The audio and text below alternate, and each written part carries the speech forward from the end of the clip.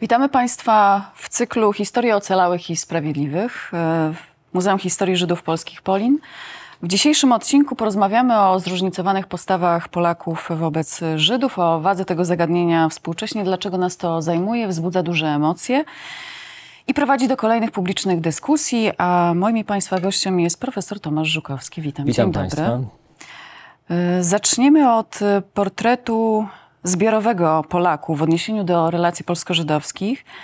Jak się ten portret zbiorowy dzisiaj manifestuje i co go ukształtowało? Myślę, że trzeba zacząć od tego, że e, mówienie o sprawiedliwych w Polsce bardzo mocno wiąże się z, ze zbiorowym autowizerunkiem. I myślę, że na początku tej rozmowy dobrze by było sobie ustawić coś w rodzaju takiej perspektywy. Jak my będziemy patrzeć na na naszą historię, na historię naszego społeczeństwa i historię naszej kultury. Przyjęło się, to jest taka naturalna reakcja, jak myślę, wśród Polaków, że kiedy mówimy o historii polsko-żydowskiej i też kiedy mówimy o formach współudziału w zagładzie, to zaraz włącza się taka czerwona lampka i zastanawiamy się, czy przypadkiem nie zostanie naruszone dobre imię społeczeństwa, narodu, naszych przodków.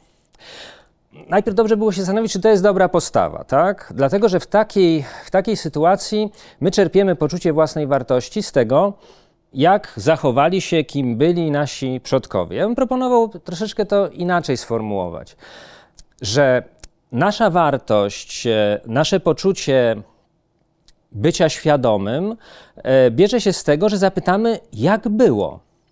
Jeżeli odpowiemy sobie na pytanie o prawdę, jak było z naszą kulturą, to musimy się do tej prawdy jakoś odnieść, do, odnieść się do tego, co, co nam nasi poprzednicy zostawili w spadku, tak? Skoro odnieść się, to także coś z tym zrobić. Jeżeli będziemy w stanie coś zrobić z, z kulturą, w którą, którą przejęliśmy, poprawić ją według wartości, które wyznajemy, to myślę, że taki ruch, taka postawa zasługuje zarówno na nasz własny szacunek, także możemy mieć szacunek do samych siebie, jak i na szacunek otoczenia. Można powiedzieć tak, że nie zawsze przychodzi do głowy taka, taka historia, że skoro, skoro w pokoleniu naszych dziadków czy pradziadków bito dzieci, prawda, czy nawet w pokoleniu moich, moich rodziców, kiedy ja byłem chłopcem, był taki zwyczaj, że bito dzieci, tak? Może nie tak ważne jest powiedzenie tego, czy, e, czy, czy należy bronić naszych tych dziadków i, i, i, rodziców, że, że oni to robili, czy, czy ich e, dobre imię e, jakoś wybielać, czy też należy zapytać, co oni zrobili z tym, z tym faktem, jak ocenili ten fakt. I skoro niektórzy przestali to robić, to Proszę zobaczyć, to jest tak, dostrzegli problem, ocenili go, powiedzieli, jakie są ich wartości i dokonali zmiany. I z tego, jak myślę, e, bierze się szacunek i ich do siebie, i nasz do nich, prawda? Dlatego, że potrafili według e, tego, co uważali za, za słuszne i dobre, zmienić świat, w którym żyli. Tak? Chociaż nie wszyscy pewnie. Pewnie nie wszyscy, no dobrze, ale jeżeli w ten sposób spojrzymy na, na sprawiedliwych i spojrzymy na historię polsko-żydowską, na przemoc, która, której tam było mnóstwo, prawda, to powstaje takie pytanie, jaki jest nasz stosunek do tego, co odkryliśmy, tak? Czy jesteśmy w stanie zdobyć samoświadomość? Więc myślę, że, że, że w, tym, w tym kierunku będziemy, pro, proponuję, żebyśmy w tym kierunku myśleli, prawda? Odkładając na, na bok dobre imię. Myślę, że ważne też jest zaznaczenie, że w, w kontekście relacji polsko-żydowskich, a w szczególności w obliczu zagłady postawy Polaków wobec Żydów były bardzo mocno zróżnicowane. No właśnie, tyle tylko, że tutaj mamy do czynienia z dwoma, z dwoma planami, tak? czyli z dwoma wymiarami działania. Dlatego, że jeżeli będziemy patrzeć na historię od strony indywidualnych losów, tak? od strony zachowań poszczególnych ludzi, no to wtedy zawsze powiemy, zróżnicowane postawy wobec Żydów, prawda? Jedni, jak mówią, byli obojętni, inni byli agresywni, trzeci jeszcze pomagali, tak? Tyle tylko, że jeżeli spojrzymy na statystyki i zorientujemy się, że spośród e, obywateli Polski żydowskiego pochodzenia, którzy nie wyjechali e, do ZSRR, tak, nie zostali deportowani do Niemiec, w Polsce zdołało przeżyć około procenta e, tej populacji, No A Polskę musi... zamieszkiwało ponad 3 miliony Żydów tak, przed wojną. Tak, e, to, to, to zdajemy sobie wtedy sprawę, że skala skuteczności zagłady, no, tak jak to określiła Elżbieta Janicka, graniczyła z błędem statystycznym, tak? Co to znaczy? To znaczy, że e, w, zarówno machina niemiecka, jak i otoczenie tej, e, tej, tej machiny, to znaczy społeczność okupowanej Polski, przyczyniły się do tego, że ten plan zagłady udał się niemalże w 100%, czy właściwie w 100% minus błąd statystyczny. I teraz tutaj musimy zadać pytanie o postawy kolektywne, czy o wymiar kolektywny zagłady, prawda? Może taki przykład. W jednym z, z, ze świadectw zagłady Żydzi, którzy, którzy y, próbowali uciekać z getta, mówią o tym, że na drodze z getta do dworca wileńskiego bodajże zostali y, ofiarami pięciu szantaży i stracili wszystkie pieniądze. Tak? Oczywiście można powiedzieć, że spotkali na tej drodze ludzi, których postawy były zróżnicowane. Nie wszyscy ich okradli. Być może niektórzy patrzyli na nich ze współczuciem, tak? Może niektórym było wszystko jedno, co oni robią. Natomiast efekt tej drogi był taki, że stracili wszystkie pieniądze. Marek e, Edelman pisał tak, że pisał, że jeżeli się wyszło na warszawską ulicę, e, to regułą było to, że trafiało się na kogoś, kto doniósł, a to oznaczało śmierć, tak? I teraz myślę, że powinniśmy się zastanowić nad mechanizmami te, te, tego, e, tego kolektywnego działania. E, myślę, że tutaj bardzo, mm, bardzo pomocna byłaby literatura. I... Tak, ale zanim, no, no, zanim tak, wejdziemy dobrze. w przykłady literackie, to jeszcze cofając się, tak. zanim dojdziemy do wybuchu wojny do 1939 roku, e, moment, kiedy Polska odzyskuje niepodległość, w jakim wymiarze wówczas powoli te relacje polsko-żydowskie, jak one wybrzmiewały? I czy w ogóle wtedy już możemy mówić, że e, wśród Polaków był obecny antysemityzm? Na pewno możemy tak mówić. Antysemityzm polski ma mm, bardzo głębokie, jeszcze romantyczne i, i oświeceniowe korzenie, tak?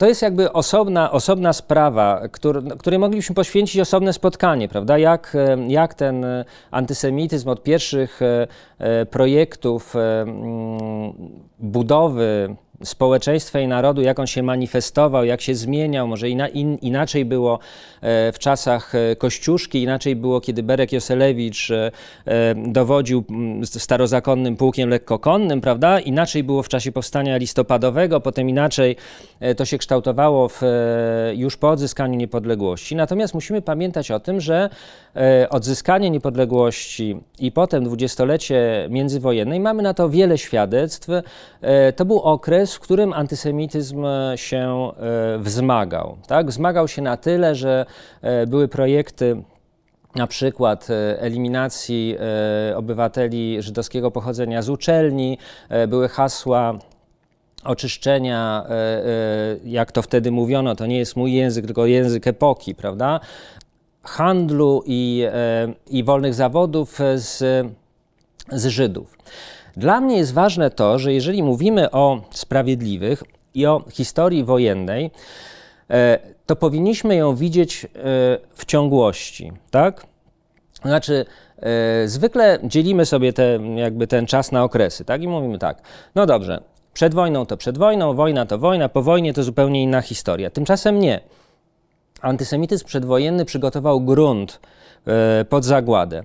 Maria Janu e, analizowała głosy polskiej prasy prawicowej e, z lat 30., pokazując, że mamy tam do czynienia nie tylko z, z projektami deportacji polskich Żydów, ale także z metaforami eliminacyjnymi, tak? czyli z takimi porównaniami mm, ludności żydowskiej, które sugerują ich e, odczłowieczenie, czy też e, sugerują eliminację po prostu. I w takiej sytuacji dopiero e, przychodzi okupacja, okupacja hitlerowska, prawda? Jeżeli oddzielimy historię antysemityzmu przedwojennego od, od historii zagłady i okupacji w Polsce, to wtedy nie zrozumiemy wielu mechanizmów społecznych, które zadziałały niestety w Polsce, tak? To ja... może jeszcze dopytam tak. o, o, źródło te, te, takiej postawy i tego, skąd się antysemityzm brał. E, w latach 30. wiemy o tym, że on się nasila w środowiskach prawicowych.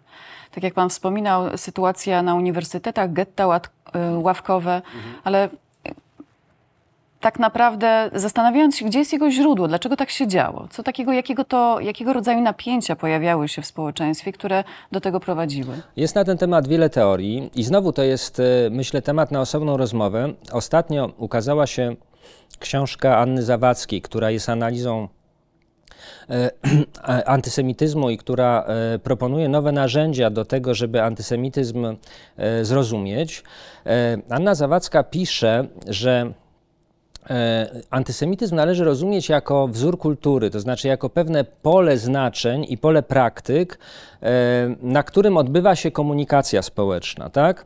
Pytanie, jakie sprawy załatwia antysemityzm, jest bardzo trudne. Jest na ten temat wiele teorii.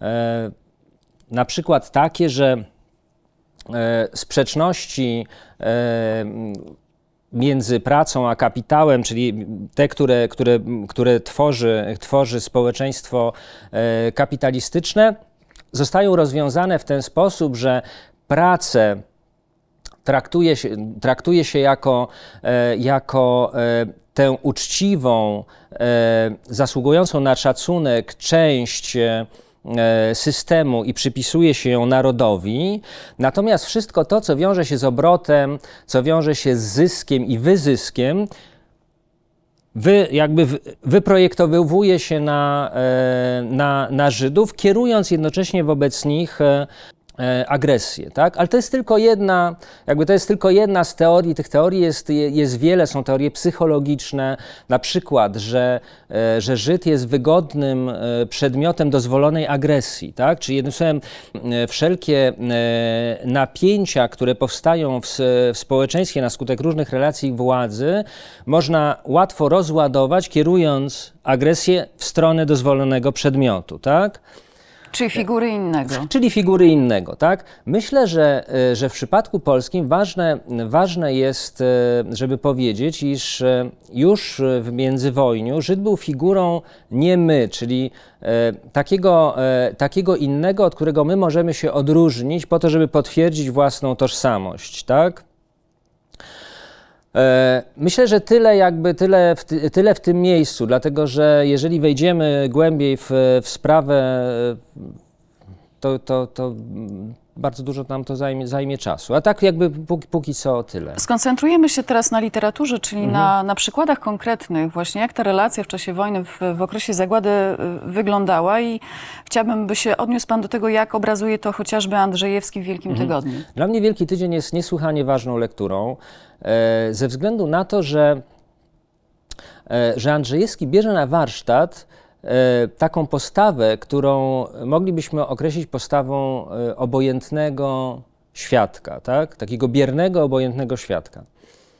Z, zwykliśmy za Błońskim uważać, że ten, że ten bierny e, świadek, świadek czy, czy e, że on właściwie nie bierze udziału w wydarzeniach. Tymczasem, tymczasem Andrzejewski uzmysławia nam, że każda postawa, e, jakby każde zachowanie e, w warunkach zagłady ma wpływ na losy Żydów. Oczywiście odnosi się do czasu e, Tak, wojennego. Do czasu wojennego. Akcja rozgrywa się w, e, tuż, przy, tuż przed, e, tuż przed e, e, powstaniem w getcie i, i w pierwszych jego dniach. I teraz e, e, jak to wygląda? Otóż e, główny bohater e, tego opowiadania, Malecki, e, ma przyjaciół Żydów, e,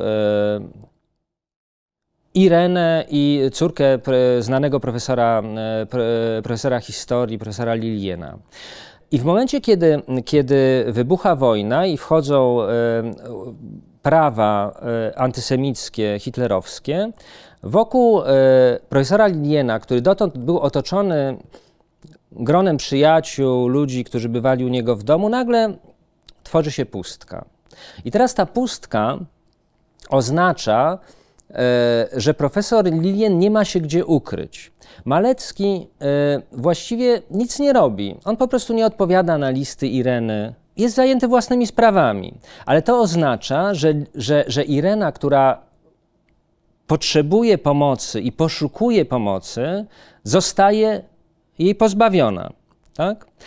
I teraz Andrzejewski to niesłychanie dobrze pokazuje, że bez tego zaplecza społecznego, które po, po, pozwala się ukryć, czyli w wyniku tego, co byśmy nazwali obojętnością Maleckiego, e, Irena pozostaje w takiej przestrzeni, gdzie jest e, dostępna i może być przedmiotem e, przemocy hitlerowskiej. Tak? Jednym słowem, Malecki z tą swoją obojętnością e, jest strażnikiem granic getta. Tak?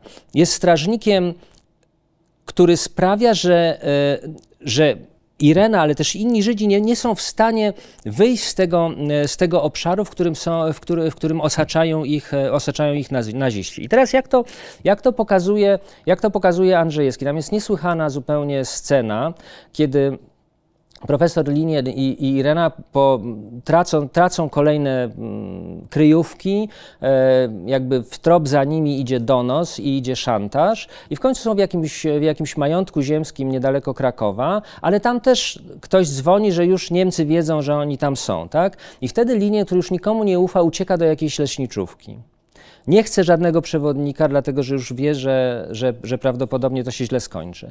I oni spotykają, spotykają na drodze kolumnę e, małomiasteczkowych Żydów prowadzonych po prostu na deportację czy na rozstrzelanie. I w pewnym momencie profesor Linier wstaje, wchodzi w ten tłum i ginie w nim po prostu, znika. Myślę, że to jest bardzo ważna dla nas scena, która pokazuje, że, że to zamykanie dróg e, ucieczki jest jakby wpycha wpycha polskich Żydów w to miejsce, właśnie w tę kolumnę prowadzoną na śmierć, tak? Wydaje mi się, że to opowiadanie jest niesłychanie przenikliwe. Podobnie dzieje się też z Ireną Lilien. Ona próbuje ukrywać się u Maleckiego, ale zostaje rozpoznana wybucha awantura, w której jedna z mieszkanek e, tego domu wyrzuca jej to, że, że, że, że się ukrywa, jakby denuncjuje ją wobec innych mieszkańców. Irena odchodzi do getta po to, żeby tam zginąć, tak? Właśnie ze względu na to, że nie ma dla niej, nie ma dla niej miejsca e, w, w polskim otoczeniu, tak? I proszę zobaczyć, że, że tutaj to e, jest, jest to kontinuum różnych zachowań. Właśnie obojętność Maleckiego, bierność Maleckiego, ale też aktywność różnego rodzaju szantażystów, prawda, tych, którzy okradali, tak, Właśnie. Bo i takie postawy I takie, były i takie obecne. postawy były, ale dla mnie w, w, tym momencie właśnie najważniejsza, najważniejsza jest e, jakby e, rozbrojenie te, te, tego, tego mitu o, e, o, o bierności, że ta bierność jest jakby niegroźna. Nie, ona jest właśnie bardzo groźna, tak? Ona, ona jest sprawcza i ona ma konsekwencje. To może przykład tak? z Zofii Naukowskiej. Co tak. on z kolei mówi?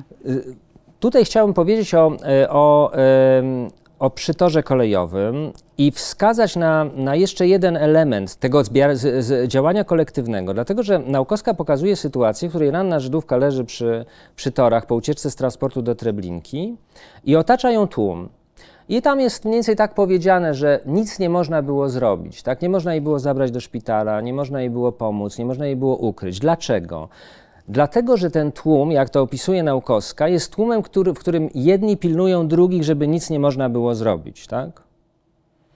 Jedni pilnują drugich, tak. czyli Polacy pilnują Polaków. Polaków. Tak, Polacy pilnują Polaków, żeby nic nie można było zrobić. I znowu to wzajemne pilnowanie się, czyli to, o czym e, mówi wiele, wiele świadectw, znaczy, że w pewnym momencie donos był, pe, by, był pewny, był nieunikniony, tak? jeżeli tylko ktoś widział. Tak? E, to sprawia, że granice get gett są niesłychanie szczelne, tak? że nie ma drogi ucieczki.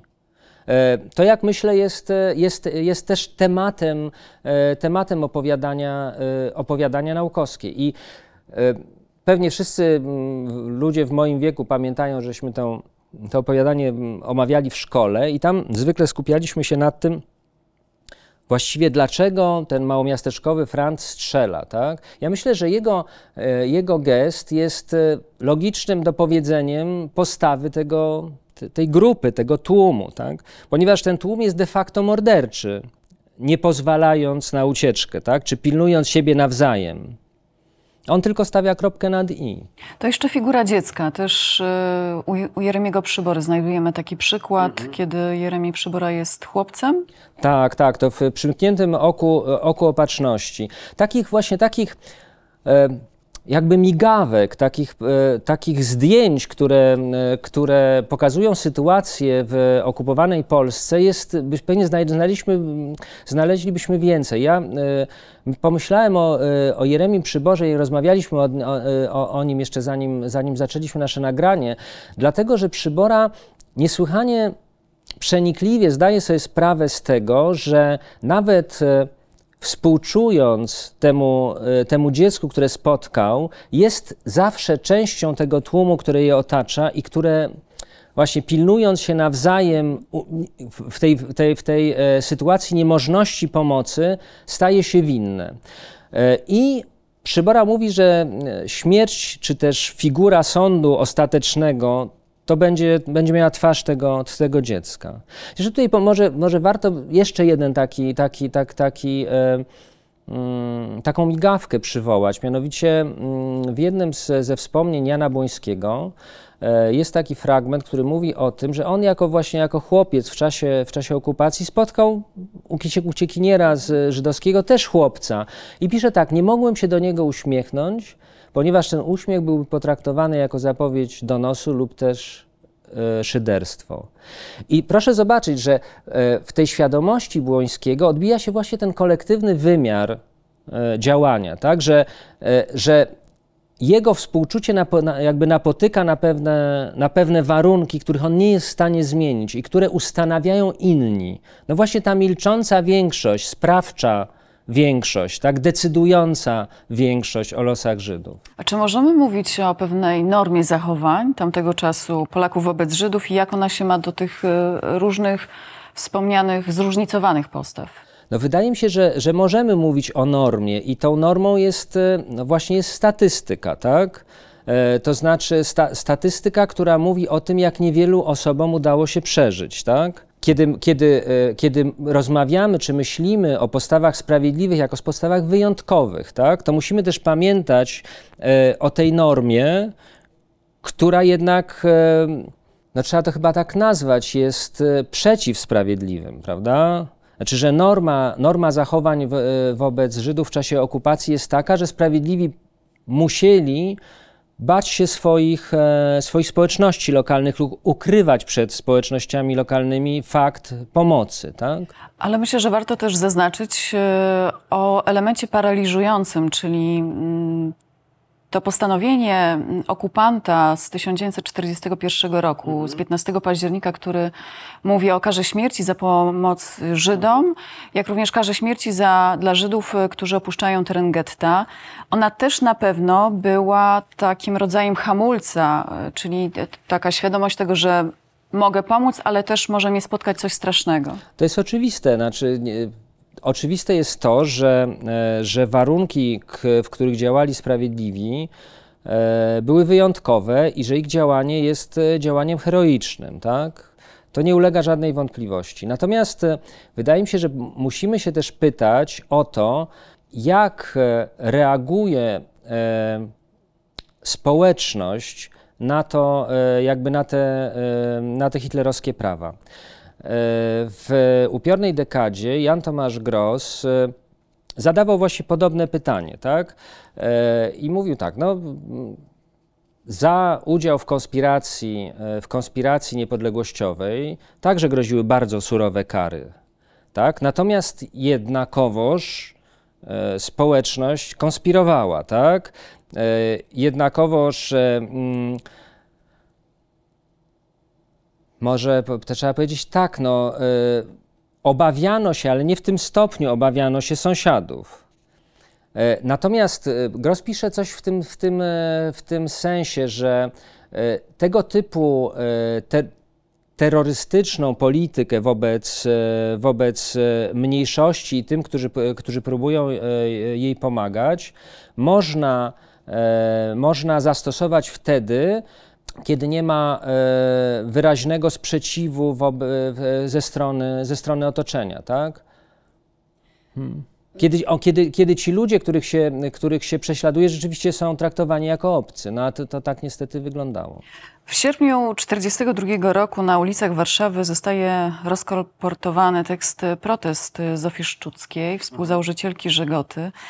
e, działaczki społecznej pisarki. Mm, jest e, ten tekst mm, w Warszawie zdystrybuowany w nakładzie 5 tysięcy egzemplarzy. I wokół tego protestu trwa spór. Przywołany wcześniej profesor Jan Błoński, historyk i badacz, dziwił się, że jest to tekst bardzo z jednej strony prożydowski i zarazem antysemicki. Jak to rozumieć? E, sprawa dotyczy fragmentu, bo e, protest składa się z dwóch części. W pierwszej części Zofia Kosak-Szczucka opisuje e, los likwidowanego, palonego getta. Tak? To jest bardzo przejmujący opis opis, jak myślę, w dużej mierze współczujący. I myślę, że ten właśnie, tą, tą, pierwszą, tą pierwszą część miał e, Jan Błoński na myśli, kiedy mówił o e, pro, prożydowskości tego, tego tekstu. Natomiast potem e, następuje taki fragment, w którym Zofia Szczucka mówi, że mm, Żydzi nienawidzą Polaków bardziej niż Niemców i czynią Polaków odpowiedzialnymi za E, za swoje, e, za swoje nieszczęście. Tak? I mówi też o, o, o, e, o tym, że, że ten głos żydowski się sprzymierza w tej, w, tej, w tej sprawie oskarżenia Polaków z, z mm, propagandą niemiecką. No i rzeczywiście te, te, te stwierdzenia muszą, muszą dziwić, prawda? I teraz jakby moglibyśmy zastanowić, jaki, jakby, jaka, jest jego, jaka jest tego funkcja. Ja mam takie wrażenie, że że e, protest e, Kosak Szczuckiej jest e, tekstem założycielskim polskiego dyskursu na temat sprawiedliwych czy na temat ratowania Żydów. Teraz, jeżeli myślę, że, że pokażemy, jak ten, jak, ten, jak ten model dyskursu się potem rozwija, ale on jest jego jakby punktem założycielskim jest takie stwierdzenie, że my jako chrześcijanie Żydów żałujemy, protestujemy przeciwko temu, co robią z, z nimi naziści. Też być może e, wręcz im pomagamy, bo to jakby przechodzi w tę stronę, że e, Kosa nie, jakby nie wzywa do, do, pomocy, tylko mówi o proteście, ale w innych realizacjach jest mowa o tym, że, e, że pomagamy. I teraz okazuje się, że wobec tego aktu protestu i aktu e, pomocy Żydzi są niewdzięczni. Tak?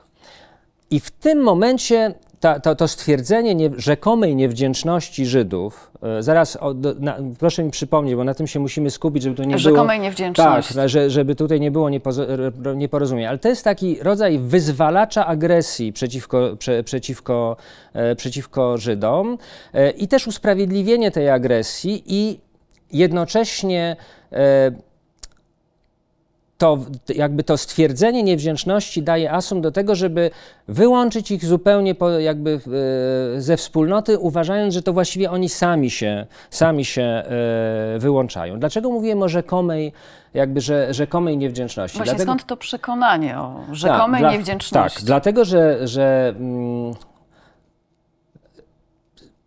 we wspomnieniach e, polskich Żydów, no oni mówią o tym, co ich spotkało, tak? Więc też mówią o tej normie, o której żeśmy przed chwilą Czyli rozmawiali. o tych różnych postawach. No, o normie przemocy, tak? O tym, tak jak, nie wiem, jak pisał Perechodnik, tak, że e, w wielu miasteczkach, gdzie dochodzi do akcji, e, tak zwanej akcji, tak, likwidacyjnej czy deportacyjnej, odbywa się regularne polowanie na Żydów, tak? Że ludzie wyłapują tych, którzy próbują uciec albo rabują ich, a, a ten, kto jest pozbawiony pieniędzy, nie ma szans na, e, na, na ucieczkę, dlatego że no, też realia są takie, że żeby przeżyć w ukryciu trzeba, trzeba po prostu mieć pieniądze, tak? Nawet jeżeli spotka się wyjątkowo uczciwych ludzi, tak? Którzy chcą pomóc, no, ale trzeba mieć co jeść, jest bieda wojenna i tak dalej, tak? Jednym słowem, kiedy, e, kiedy polscy Żydzi mówią o tym, co ich rzeczywiście spotkało, ze strony większości, ogółu, tak? wtedy natychmiast są oskarżani o niewdzięczność, o niewdzięczność tak? Mhm. E, właśnie, i to wydaje mi się, e, to wydaje mi się mechanizm, który należy uznać za mechanizm e, wykluczenia, tak? E, I z drugiej strony ten mechanizm jest także praktyką pewną, dlatego że wzywa się wtedy Żydów, którzy są akurat pod ręką, do tego, żeby powiedzieli, że nie, że właśnie, żeby dali nam e, świadectwo, m, mm, prawda, świadectwo moralności. Proszę sobie wyobrazić, być może zaraz jeszcze do tego przejdziemy, ale proszę sobie wyobrazić, że po pogromie kieleckim. W 1946 roku. Tak, już, już nie ma, na, na, jakby nie ma nazistów, nie ma Niemców w Polsce.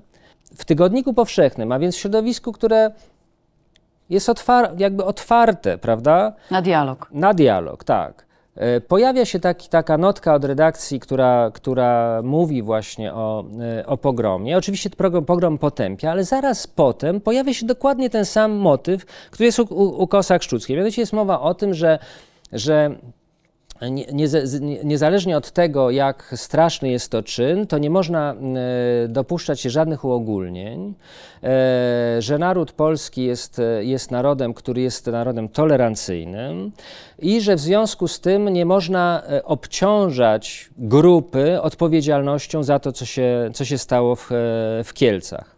Tak? I, i argumentem na rzecz tego, żeby tego nie robić, są sprawiedliwi. Mowa jest o tym, że, że jeżeli ktokolwiek w, z polskich Żydów zdołał przeżyć, to właśnie dzięki sprawiedliwym w imię wdzięczności absolutnie nie można dopuszczać się uogólnień. Tymczasem proszę zobaczyć, że, e, że mm, coś takiego wypowiedziane w roku 1946, kiedy trwa akcja pociągowa, kiedy w wielu miejscowościach giną ludzie, którzy wracają do swoich domów, tak? no to jest, to jest rodzaj niesłychanie mocnego szantażu. Prawda? Znaczy, jeżeli powiesz, co cię spotkało, jeżeli powiesz o przemocy, jeżeli poczujesz się jak obywatel wśród obywateli, to znaczy jako ktoś, kto ma prawo do tego, żeby e, wyrazić swoje zdanie na temat tego, jak został potraktowany, także być może wyrazić swoją złość.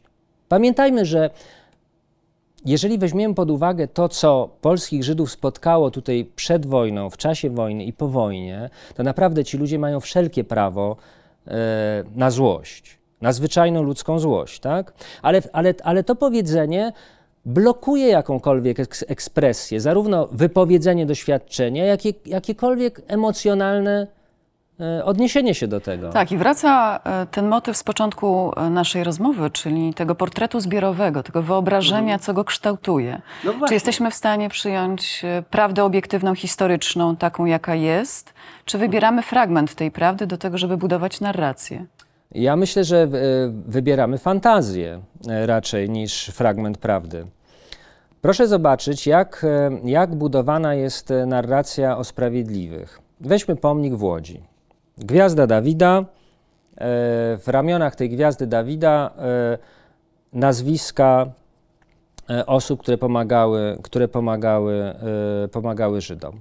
Proszę zobaczyć, że ten, e, że ten pomnik jest zrobiony jako rodzaj takiego polskiego portretu zbiorowego. Tak? Tam jest jeszcze miejsce, że jeżeli, się, mm, jeżeli dowiemy się o nowych przypadkach, można je tam, można je tam umieścić. I nad tym orzeł, który, jak mówił architekt, który, który, który zbudował ten, ten, zaprojektował ten pomnik, roztacza skrzydła nad tą gwiazdą Dawida. No to jest fikcja.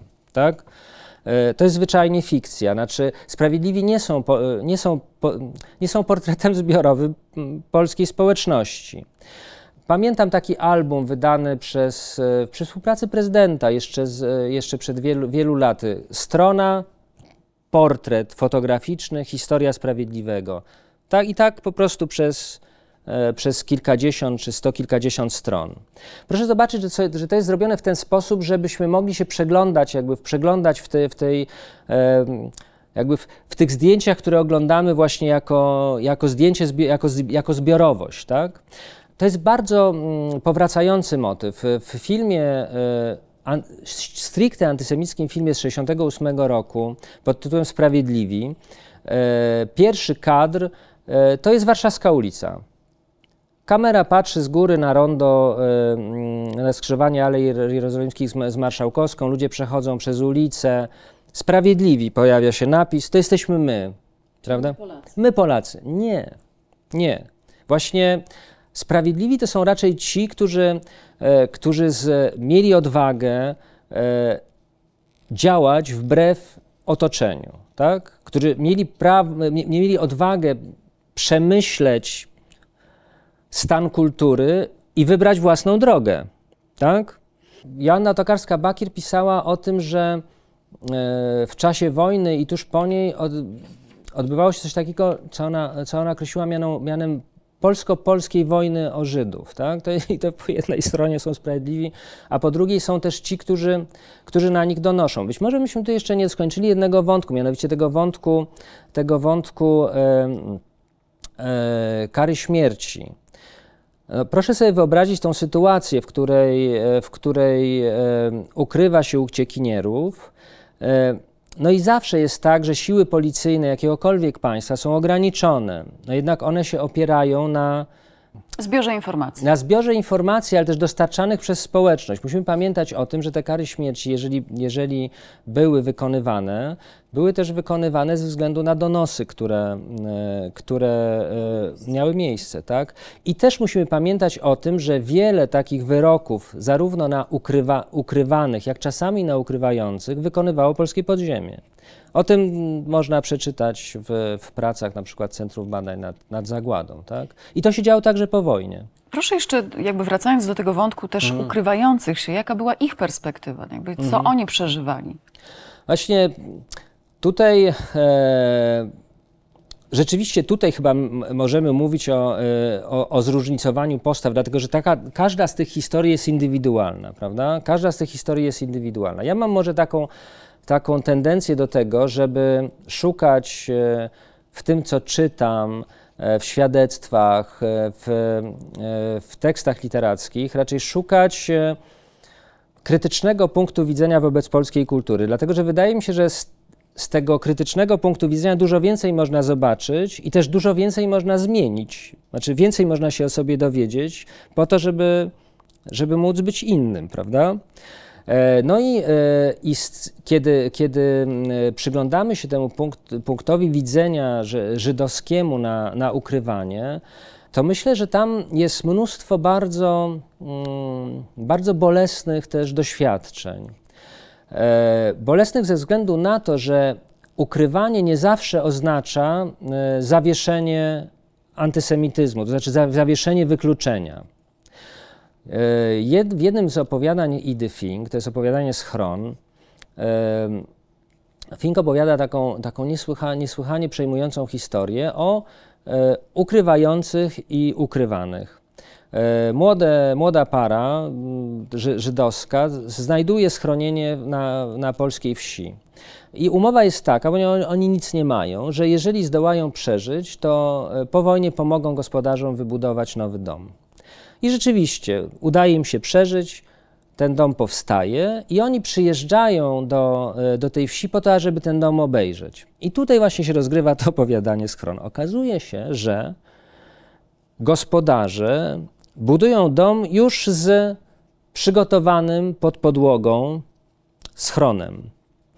I kiedy tamci przyjeżdżają, żeby obejrzeć ten dom, to, to oni odsuwają stół, podnoszą klapę i mówią: Proszę, a to jest miejsce dla Was. W razie czego to jest miejsce dla Was. I ta para bohaterów z przerażeniem ucieka stamtąd, bo rozumie, że potencjał przemocy, jaki jest w kulturze, a także ich miejsce jako innych, jako wykluczonych, cały czas jest w tym, pod tą podłogą. Tak? Jakiś przerażający obraz proroctwa ja myślę, że, że też nie tyle obraz proroctwa, co obraz niezmiennego miejsca, tak? To wie pani, to jest tak, że ja myślę, że ten schron pod podłogą to jest, e, to jest wariant też tej presji, którą się wy, jakby wy, wy, wy, wywiera na, na polskich Żydów, żeby oni nic nie mówili, tak? Żeby oni mówili tylko to, co, e, co my, strzegąc naszego dobrego imienia, chcielibyśmy usłyszeć, tak? Świetnie to, świetnie to rozegrał Słobodzianek. Bardzo zresztą. Tadeusz Słobodzianek, tak, w, dramaturg. W, tak, tak, w naszej, w naszej klasie. E, co ciekawe, to jest fragment, który rzadko jest e, interpretowany, bo tam jest przecież historia sprawiedliwego i potem też historia tego, jak się tego sprawiedliwego wykorzystuje. Otóż mordercy w, tym dramacie zawierają w końcu taki układ, że zarówno e, sprawiedliwy, jak i jego, jego podopieczna będą świadczyć na ich korzyść i to jest warunek ich przetrwania w tej wspólnocie. Tak? Wydaje mi się, że Słobodzianek jest niezwykle przenikliwy w tym, w tym, w tym, w tym rozpoznaniu. To może dalej marzec 68. Jak e, figura sprawiedliwych wówczas została zinterpretowana, czy też wykorzystana do tego, by zrozumieć to, co się dzieje i w ogóle jakby spojrzeć na tę sytuację? Znaczy, figura sprawiedliwych została wtedy wykorzystana na sposób antysemicki, to znaczy e, według te, tego wzoru, o którym żeśmy mówili. Myśmy pomagali, oni są niewdzięczni, w związku z tym należy im się i należy ich wykluczyć i nie należy im ufać, tak? I w, w tym filmie mm, Sprawiedliwie, o którym przed chwilą mówiliśmy, e, on się cały kręci wokół tego poczucia e, krzywdy polskiej ze względu na niewdzięczność e, żydowską. To jest, jak mówię, to jest, to jest motyw antysemicki, tak? To jest też pres, jakby presja na to, żeby, żeby polscy Żydzi nie mogli powiedzieć o tym, co, e, jakby co ich spotkało. I proszę zobaczyć, że e, motyw sprawiedliwych pojawia się wtedy, kiedy w Polsce wybucha antysemityzm. Kiedy zaczęliśmy się jakby w ostatnich latach za, zajmować sprawiedliwym mniej więcej, nie wiem, 15, 20 lat temu, tak, na początku XXI wieku, wieku, to mieliśmy takie po, poczucie, że to jest nowy temat, że nikt o nich nie mówił. Tymczasem jak się patrzy na historię, to 46, proszę bardzo, Sprawiedliwi, tak, 68, Sprawiedliwy, wychodzi książka Grossa. A w 2000 roku tak. sąsiedzi historia zagłady żydowskiego miasteczka. Tak, od razu też jest ten sam, jakby ten sam argument. Y, wskazywanie na, e, na sprawiedliwych, a jednocześnie aluzja do, e, do niewdzięczności. Tak?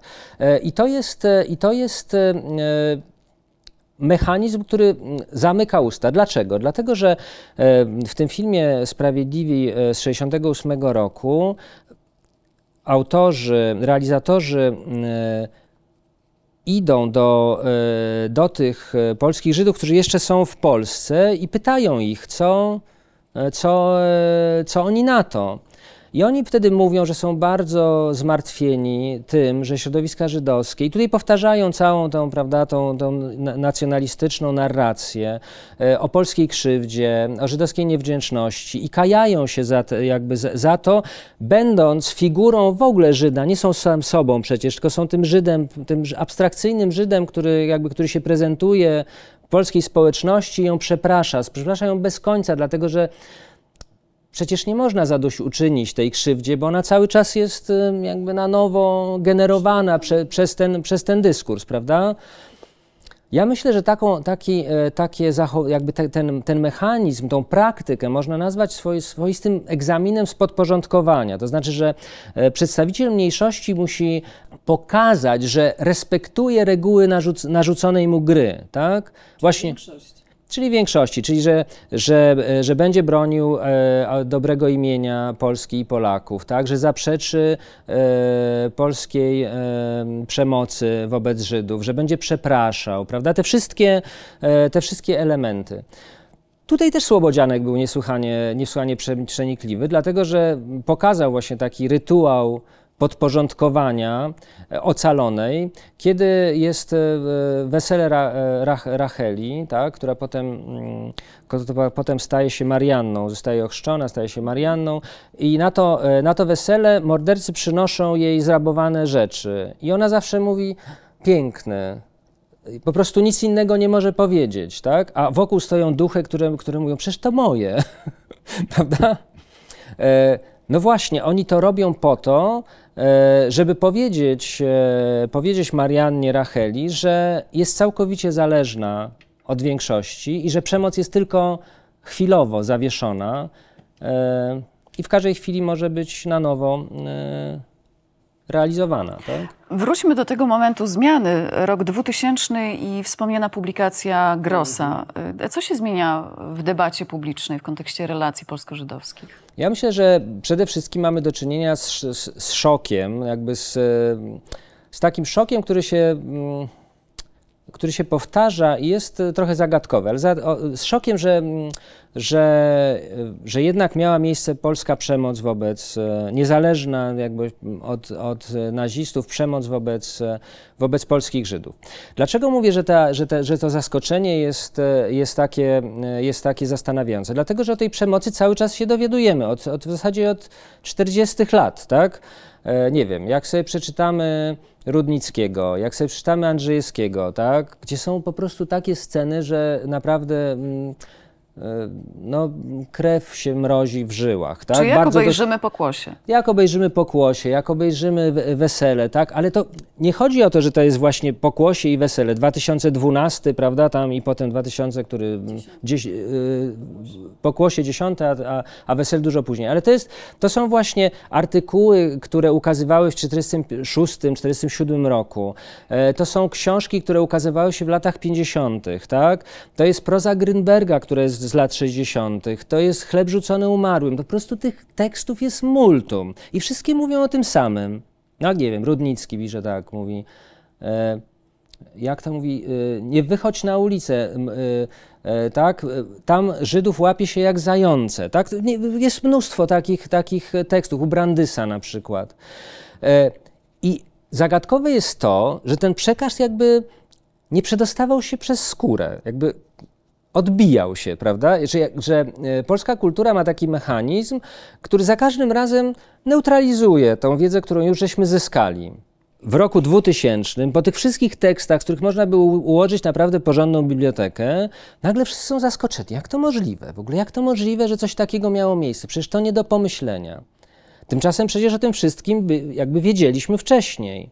I być może też e, ta opowieść o sprawiedliwych, która cały czas właśnie strzeże polskiego dobrego imienia, blokuje wiedzę na temat, e, na temat e, agresywnych zachowań, na temat przemocy, też jest jednym z czynników, który pozwala na to, żeby, żeby, e, żeby ta wiedza do nas nie przenikała, tak, żeby się od nas odbijała, żeby spływała po nas jak woda po kaczce, prawda? I tutaj e, myślę, że dobrze włączyć określenie, którego Pan e, użył w jednej z debat e, w tym temacie. Fantazmat sprawiedliwych. Tak. Mhm. Jak rozumieć to określenie? Wydaje mi się, że oprócz historii sprawiedliwych, którą musimy opowiedzieć właśnie tak, jak to sugerowała Janna Tokarska-Bakir, jako historię wojny polsko-polskiej, jako historię pewnego konfliktu o wartości, o to, jak wygląda wspólnota, kto do niej należy, a kto do niej nie należy, gdzie sprawiedliwi dokonali wyborów, które nie były wyborami powszechnymi, tak? Znaczy wyborów bardzo indywidualnych, heroicznych, na miarę innego, nowego społeczeństwa, nie tego, w którym żyli. Także, e, że oprócz tego istnieje ta opowieść, o której, którą próbowaliśmy zrekonstruować, której źródła leżą w e, proteście Kosak-Szczuckiej, która jest właśnie fikcyjna, która opowiada o, zarówno o fikcyjnych Żydach, jak i stwarza fikcję polskiej niewinności. Tak? I, i, i blokuje, nam, e, blokuje nam możliwość zdobycia wiedzy na temat, e, na temat nasz samych. E, też, żeby, żeby był dobrze zrozumiany, znaczy to, to, to opowiadanie o sprawiedliwych i sama postawa sprawiedliwych, konkretnych ludzi, którzy, jak mówię, wybrali przeciw większości, to są dwie różne sprawy, tak? Natomiast też musimy pamiętać, w jaki sposób e, polska społeczność czy polska kultura przechwytuje te historie, żeby je wykorzystać na sposób, który myślę jest sprzeczny z tymi wartościami, które musiały przy, przy, przyświecać tym, którzy się zdołali przeciwstawić całemu światu na dobrą sprawę, tak? żeby uratować ludzi.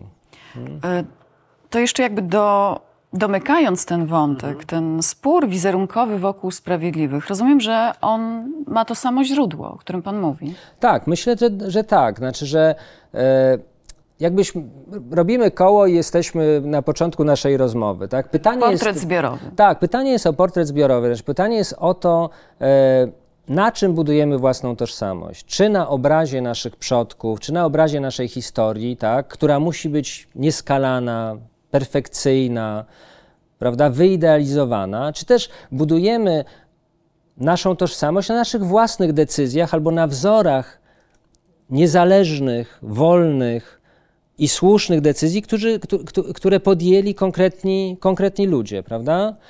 E, I jak patrzymy na naszą rzeczywistość, to wydaje się, że w dużej, duża część naszego społeczeństwa jest bardzo przywiązana do, e, do tej tożsamości budowanej na obrazie przodków, na obrazie historii, tak? na takiej zasadzie bądź dumny ze swego, ze swego dziedzictwa, tak? a nie bądź dumny z tego, co wybrałeś, tak? czy nie bądź dumny z tego, na ile jesteś świadomy, tak? co potrafisz z tym dziedzictwem zrobić.